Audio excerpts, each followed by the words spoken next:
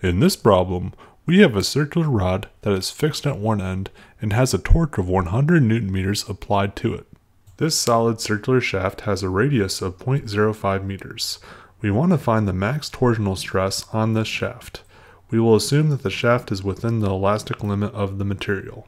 I've represented the torque on the right of the screen as two coupled 1000 newton forces acting on the radius. So the equation for the max torsional shear stress, also known as the shear stress on the outside surface of the cylindrical rod, is torque times the distance to the center, in this case it will be the radius, divided by the polar moment of inertia. So now, as a refresher to what the polar moment of inertia is, let's recall what the planar moment of inertia is. We have a meter stick that is easy to bend if we apply a force down on the skinny side, but if we flip it 90 degrees and apply a force on the wide end, it doesn't bend as easily. Notice that the same amount of material is in the ruler, we have just repositioned it to allow the ruler to be more rigid when we apply a force on it. When we flip the ruler, the planar moment of inertia increases, which increases the part's rigidity. Now for the case of a torque on a shaft, we use the polar moment of inertia, which is the resistance for a certain shape to strain when a rotational force or torque is applied. In this example, I have a pool noodle I am torquing to show that the outside surface is strained. Notice how the grid of rectangles turns into a grid of parallelograms. Recall my shear strain of a block with the shear force applied to it video. So the larger the polar moment of inertia, the more resistance the shape has to straining under a given torque. It will also have less of a max shear stress given the polar moment of inertia is in the denominator of the formula.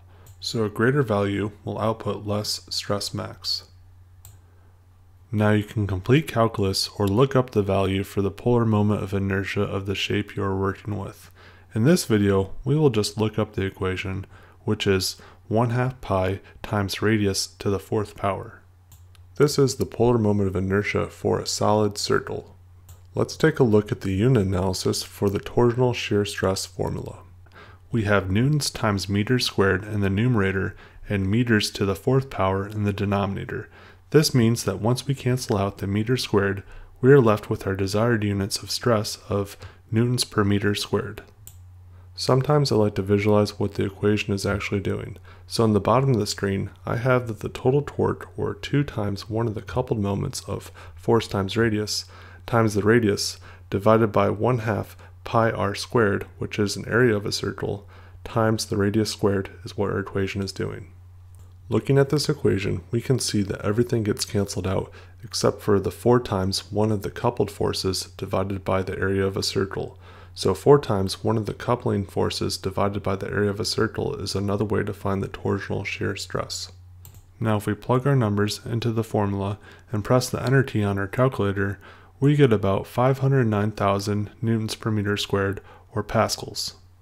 Let's say you want to find the shear stress at any given point in the circular shaft. We can simply take the shear stress max times the distance to the center from the desired point divided by the radius or distance from the center to the outside edge. This gives us the shear stress at any given point.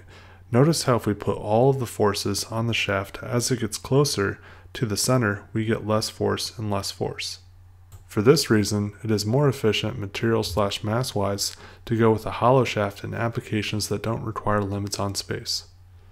The hollow shaft with a larger diameter has a greater polar moment of inertia. That concludes this video. Hopefully I've earned a like, share, or subscription. If you enjoyed this video, you may enjoy one of these videos as well.